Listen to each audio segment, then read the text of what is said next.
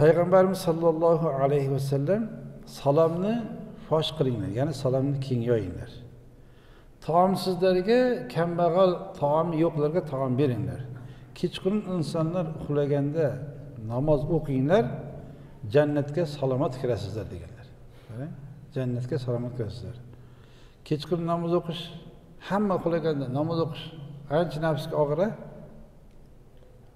taomsizlarga taom berish ancha qiyin lekin uchalasini birdek kiryapti. Salom berish shuni qatorda kiryapti. Salomni keng yoyish taomsizlarga taom berish kechqurun hamma uxlaganda namoz o'qishlik. Uchalasi topilsa deyapti jannatga tinch xotirjam salomat kirasizlar deyaptilar demak salomni keng yoyishni yana bitta barakati fazilati jannatga salomat tinchlik kirib kirishga sabab bo'ladi. Salomni keng yeyish borasida payg'ambarimiz alayhissalom siz birlaring bir boshqa bir mo'min boshqa mo'minga yo'liqsa unga salom bersin deganlar. Hattoki o'rtalari ketyapti salom berdi bir daraxtdan ikki taraf ikkalasi o'tdi keyin yana salom bersin degan.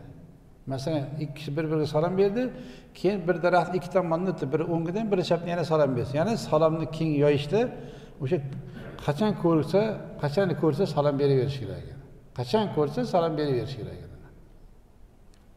bir kishi kelib assalomu alaykum deganda payg'ambarimiz alayhissalom o'n dedilar o'nta dedilar. Yana bir kishi kelib assalomu alaykum va rahmatulloh deganda payg'ambarimiz alayhissalom yigirmata dedilar. Uchinchi kishi kelib assalomu alaykum va rahmatulloh va barakatuh deganda o'ttizta dedilar. Ya'ni assalomu alaykum degan kishiga o'n barobar savob bo'lar ekan. Assalomu alaykum va rahmatulloh deganga yigirma barobar savob. Assalomu alaykum va rahmatulloh va barakatuh desa o'ttiz barobar savob berilar ekan o'ttiz barobar savob beriladi. Bu salom berish bizdan hech narsa talab qilmaydida. Salom berish bizdan hech narsa talab qilmaydi. Bir mablag' talab qilmaydi yo qiyinchilik talab qilmaydi lekin nafsimizni tarbiyalaydi savobga erishamiz o'sha xoni ibn zayd aytadilar men payg'ambarimiz alayhissalomni oldiga kelib meni jannatga olib kiradigan bir amal o'rgating dedim. Ya'ni bir amal o'rgatingki o'sha amalni bajarsam meni jannatga olib kirsin deganda u zot aytdilarki gunohlarni kechirishligini vojib qiladigan narsa bu salomni keng yoyish va chiroyli kalomni chiroyli qilish dedilar. Bazlu salom va husnul kalom deganlarda ya'ni kelib payg'ambarimiz alayhissalomning oldiga xoni ibn zayd roziyallohu anhu kelib bir amal o'rgating. Shu amalni qilib yursam men jannatga kirib ketay degan. Qarang hammani orzusiku qaniydi shu bir amal bo'lsa shu osongina bo'lsa shuni qilsamda jannatga kirib ketsam deymizku. Bu kishi ham shunday so'raganda payg'ambarimiz alayhissalom bazu salam va husnul kalam salomni keng yoyish va gapni chiroyli suhbatni gapni e, muomalani chiroyli qilish gunohlarni kechirishni vojib qiladigan amal deganlar ya'ni bu gunohlarni kechirishiga ham sabab bo'ladi salom berish gunohlarni kechirishiga ham sabab bo'ladi va yana salom berganda barakat fayz bo'ladi. Barakat fayz bo'ladi. Anas ibn molik roziyallohu anhudan rivoyat qilinadi.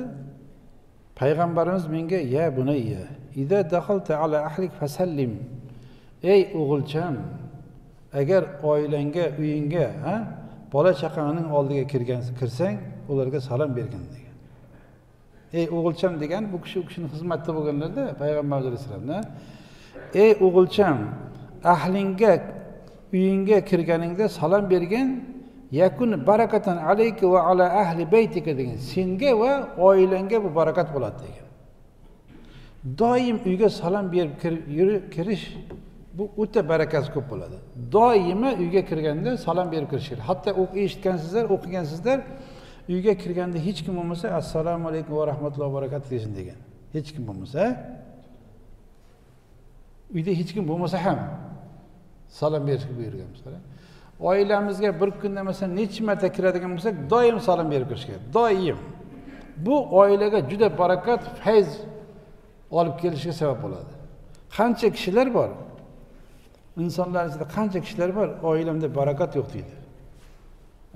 Topganimda baraka yo'q deydi. Ko'p mehnat qilaman barakasi ko'rinmayapti deydi.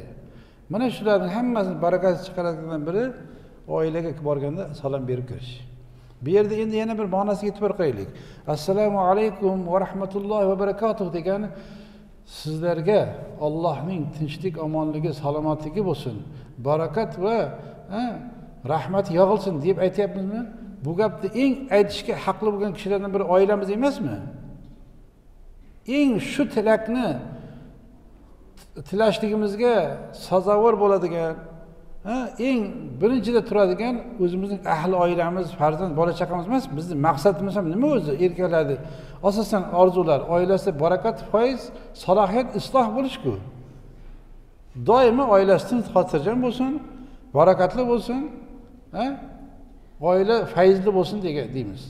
O'shani qarang bitta yo'li bor ekan qachon uyga kirsak? Assalomu alaykum va rahmatullohi va barakatuh. Qachoniki uyga kirsak?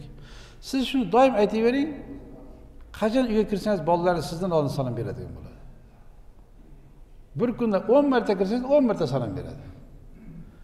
Doim shu salom berib kiraverish kerak erkak kishi.